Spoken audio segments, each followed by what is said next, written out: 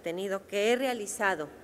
al dictamen de la Comisión de Energía por el que se expide la Ley de Petróleos Mexicanos y la Ley de la Comisión Federal de Electricidad,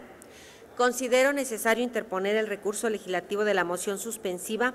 ya que es evidente que su contenido es contrario a nuestro Estado social de derecho.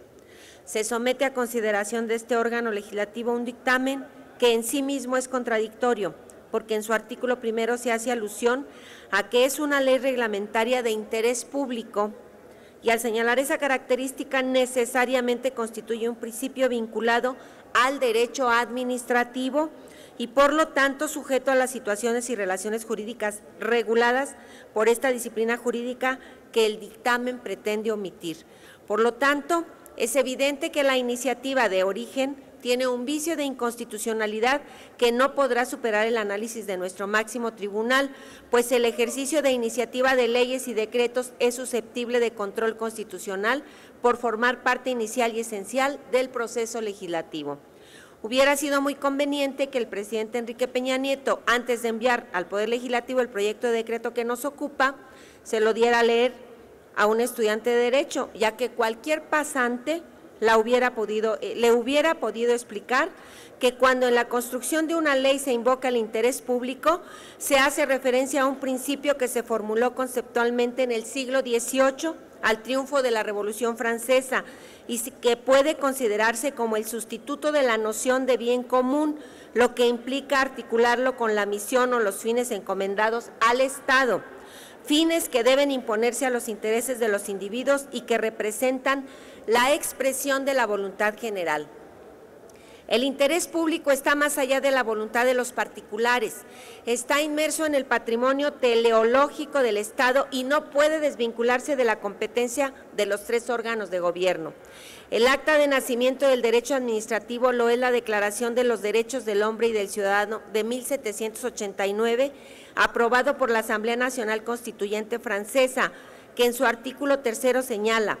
la fuente de toda soberanía reside esencialmente en la nación. Ningún individuo ni ninguna corporación pueden ser revestidos de autoridad alguna que no emane expresamente de ella. Por lo tanto, Conceptos como el de administración pública, organización administrativa, función pública, servicios públicos, acto administrativo, contratos administrativos, actividad de fomento y coacción, el dominio público y las limitaciones a la propiedad privada, la responsabilidad del Estado y el principio de legalidad integran un sistema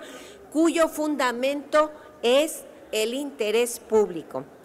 ¿Qué implica lo anterior para efectos de rechazar el dictamen? A fin de que quede perfectamente claro, vale la pena hacer referencia a una cita de un estudioso del derecho administrativo que hoy se desempeña como secretario de Educación Pública, el licenciado Emilio Chaufet. En la introducción de su obra menciona, y cito,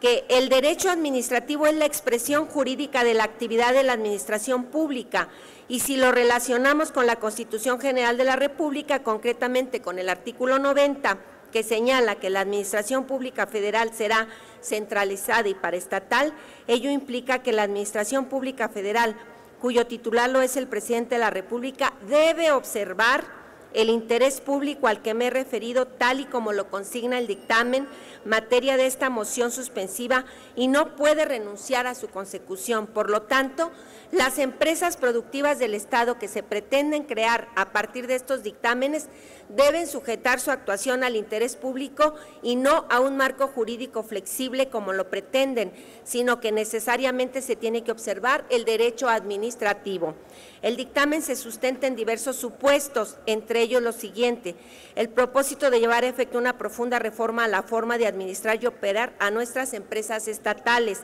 Pretende garantizar que el Ejecutivo Federal no pueda crear y desaparecer estas empresas bajo argumentos políticos coyunturales, se busca que el gobierno no pueda, mediante la emisión de dispositivos de carácter administrativo o secundario, mermar el régimen especial que requieren las empresas para funcionar y desarrollar sus actividades con verdadera autonomía. Plantea que el gobierno federal pase a ser propietario y no administrador de las empresas productivas del Estado y confiesan su ánimo de alejar a Pemex y Comisión Federal de Electricidad en lo máximo posible del sector público y acercarlas al sector privado, para lo cual habrán de otorgar a sus respectivos consejos de administración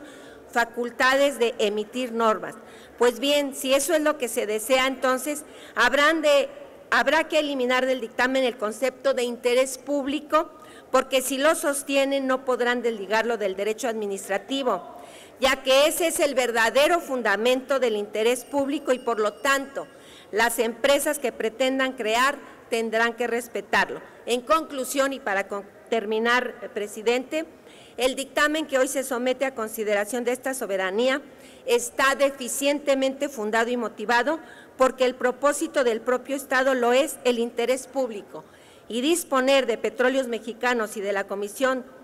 Federal de Electricidad de la manera en que lo plantea el dictamen lesiona los intereses de la nación. Lo que hoy se pretende aprobar es una aberración jurídica, es una contradicción constitucional y afecta derechos humanos que el poder público no puede restringir. El Partido del Trabajo se pronuncia en estas circunstancias a favor del respeto al moderno Estado social de derecho, interventor de bienestar, a la luz del orden constitucional que nos rige y en estricto respeto al interés público y se manifiesta en contra de este dictamen que responde no al interés público del pueblo de México, sino a los intereses de los países más ricos del mundo y a los dueños del dinero. Es cuanto, señor presidente. Gracias por su tolerancia. Gracias, diputada. Tiene la palabra hasta por tres minutos para presentar su moción suspensiva la diputada Zulay.